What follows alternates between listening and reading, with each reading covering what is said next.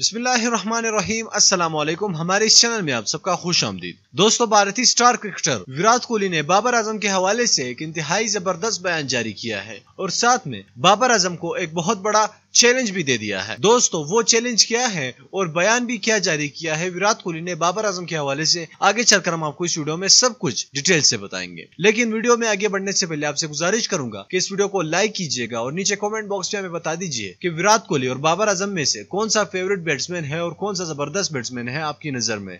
आप नीचे comment box में ज़रूर बता दीजिए। और साथ में हमारे इस चैनल को भी सब्सक्राइब करना दोस्तों। हमारे जो अस्सी फ़ीसद व्यूअर्स हैं, उन्होंने अभी तक हमारे इस चैनल को भी सब्सक्राइब नहीं किया हुआ। क्या कर रहे हो यार कुछ भी। मतलब एक सब्सक्राइब के बटन पर क्लिक करना है इतनी बड़ी बात तो नहीं है तो काइंडली कर दीजिए दोस्तों विराट कोहली जो कि हर वक्त बाबर आज़म के हवाले से स्टेटमेंट देते ही रहते हैं। दोस्तों जैसा कि आप सबको मालूम है अगर मालूम नहीं है तो इंडिया और इंग्लैंड के खिलाफ अपनी सीरीज़ खेलने जा रहा है। इंडिया इंडिया वर्सेज इंग्लैंड की सीरीज़ हो, शुरू होने वाली है फेबर में। तो उसी के मुतालिक विराट कोहली प्रेस कॉन्फ्रेंस कर रहे थे जिसमें उन्होंने पूछा गया कि बाबर आज़म के हवाले से आप क्या समझते हैं कि क्या वो आपसे बेटर बैट्समैन है या नहीं? तो उन्होंने कहा कि अब पाकिस्तान व मुकाबला जनूबी अफ्रीका की भी सीरीज़ शुरू होने वाली है और हमारी इंग्लैंड के साथ सीरीज़ शुरू होने वाली है। तो इसमें देखा जाएगा कि कौन सा प्लेयर ज़बरदस्त परफॉर्मेंस करता है। मैं भी अपनी टीम की तीनों फॉर्मेट्स में कप्तानी कर रहा हूँ और बाबर आज़म भी अपनी टीम की तीनों फॉर्मेट्स में कप्तानी कर रहा है। ये विराट कोहली के अल्फाज थे। तो उन्होंने कहा कि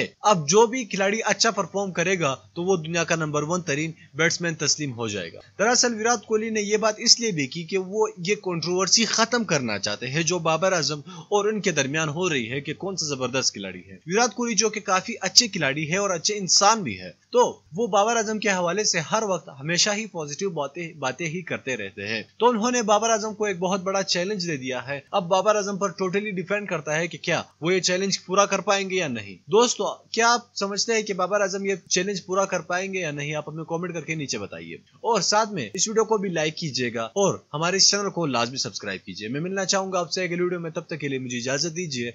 अल्लाह हाफिज।